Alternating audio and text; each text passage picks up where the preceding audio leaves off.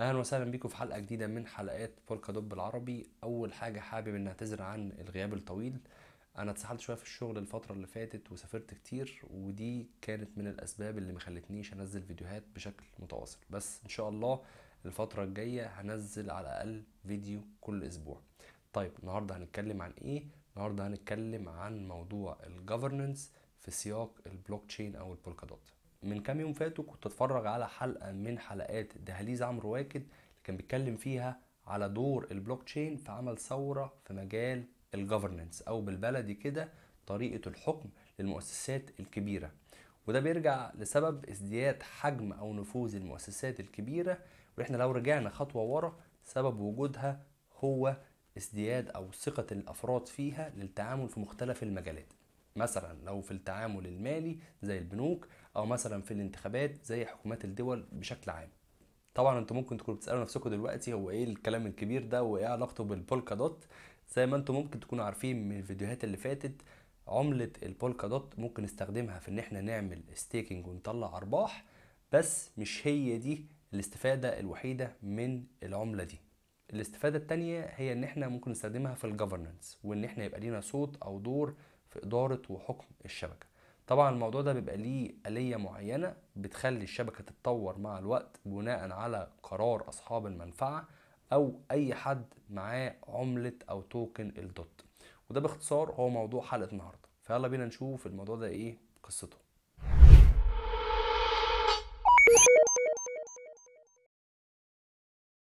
ال governance في سياق البلوك تشين هو ال system أو النظام اللي بيتم من خلاله إدارة الشبكة وعمل أي تغيير في ال logic أو المنطق بتاع البلوك تشين إدارة الشبكة أو عمل أي تغيير في البلوك تشين بيتم من خلال البروتوكول أو الكود. وعشان كده في ناس كتيرة في مجال البلوك تشين بتقول code is law أو يعني بالبلدي الكود هو زي الدستور اللي الشبكة كلها بتمشي عليه. شبكة البولكا دوت أو ال developers اللي موجودين على الشبكة أسسوا نموذج governance قدروا من خلاله يوصلوا لنسخة flexible جدا من الشبكة من ناحية تلبية احتياجات ال users وده معناه إن أي حد موجود على الشبكة أو أي حد من ال community يقدر يقدم proposal أو اقتراح عشان يغير أي حاجة موجودة على الشبكة. الكلام ده طبعا بيتم بطريقة transparent عشان تكنولوجيا البلوك تشين بتقدر توفر الإمكانية دي. في الزمن اللي إحنا عايشين فيه دلوقتي كل حاجة بتتغير مع الوقت وفي صناعات كتيرة بتطور وبتغير من نفسها عشان تلبي احتياجات السوق. بولكا دوت وال parachains بيتبعوا نفس المنهج وبيتغيروا مع الوقت عشان يبقوا relevant وزي ما أنا شرحت قبل كده كل ال users اللي موجودين على الشبكة أو في ال community يقدروا يشاركوا في العملية دي ويبقى ليهم صوت في التغيير ده. الشبكة مش بس transparent هي كمان فيها process معقدة من ناحية إنها مش بتقبل أو بترفض أي اقتراح لعمل أي تغيير على الشبكة هي كمان بتنفذ التغييرات دي تلقائيا من غير ما تعمل fork أو إنها تقسم الشبكة لاتنين. وزي ما السنين اللي فاتت والتاريخ أثبت إن البشر مبيعرفوش يشتغلوا مع بعض من غير ما يغيروا قوانين اتحادهم أو شغلهم مع بعض من وقت للتاني.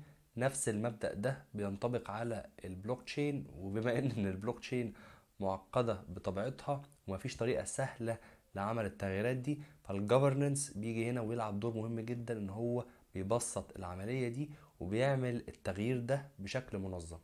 ففي السنين اللي جاية ال crypto economic systems أو الأنظمة الاقتصادية اللي قايمه على مجال التشفير هتبقى هي أساس الإنترنت اللي إحنا بنستخدمه كل يوم وال governance هيلعب دور مهم جدا في إن هو هيضمن إن الموارد اللي موجودة على الشبكة بتستخدم لصالح الأشخاص كلها مش بس لصالح مجموعة صغيرة موجودة على الشبكة. في قلب نظام ال governance بتاع البولكا دوت مفهوم ال stake weighted voting وده معناه إن أي حامل لعملة الدوت يقدر يعمل stake للعملة بتاعته عشان يصوت على أي اقتراح موجود على الشبكة.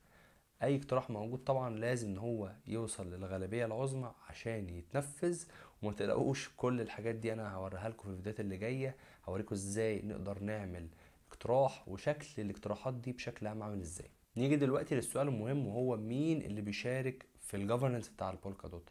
أول فئة هي أي حد معاه عملة الدوت تاني فئة هي ال council أو اللي بيسموه المجلس وتالت فئة هي ال technical committee أو اللجنة الفنية.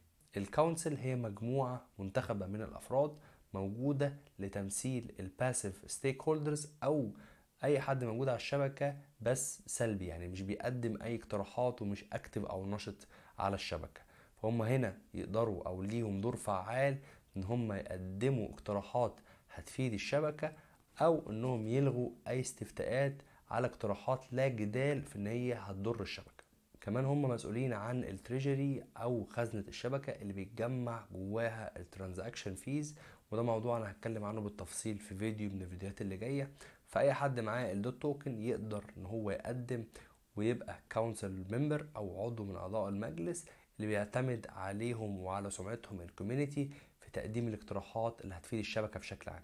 نيجي دلوقتي لل technical committee دور ال technical committee أو هدف وجوده هو إنه من ناحية بيحل المشاكل التقنية وبينفذ أي features جديدة بعد طبعا ما يتم اختبارها. من الناحية التانية هو الحماية ضد أي اقتراحات ممكن تأذي الشبكة.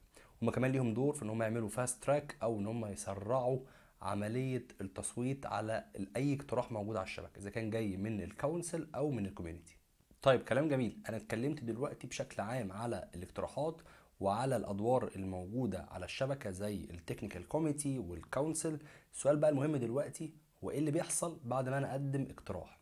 لو ال community شايف إن الاقتراح ده هيفيد الشبكة الاقتراح اللي أنا قدمته بيتحول لحاجة اسمها referenda أو بالبلدي كده استفتاء.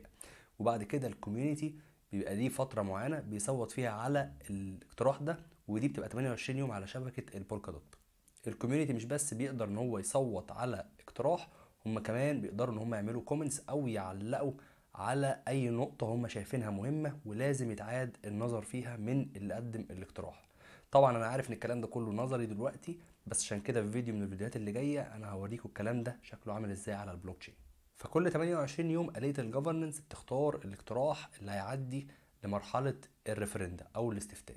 وزي ما أنا شرحت قبل كده الاقتراحات ممكن تتقدم من ال community أو أي حد معاه عملة الدوت أو ال council آلية ال governance هنا بتتناوب في اختيار الاقتراحات دي هي تختار مرة اقتراح من ال community ومرة من ال council والهدف في الموضوع ده هو بس تحقيق المساواة في الوصول لمرحلة ال referenda أو الاستفتاء.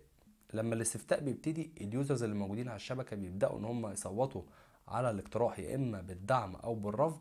التصويت هنا مش بيبقى بحجم ال tokens اللي موجودة على الحساب ده بيبقى بمدى اقتناع الشخص بالاقتراح ده وقابلية الشخص ده إن هو ياخد ال risk ويقفل ال tokens بتاعته لفترة أكبر على الشبكة. والموضوع ده اسمه ال conviction voting القاعدة الأساسية هنا هو إن أي حد بيشارك في الاستفتاء لازم يقفل ال tokens بتاعته في الفترة دي لحد ما الغالبية العظمى توافق أو ترفض الاقتراح. الهدف من قفل ال tokens هو إننا نخلي المصوتين اللي موجودين على الشبكة موجودين لحد ما فترة التصويت تنتهي وإنهم كمان يتحملوا نتيجة التصويت بتاعهم.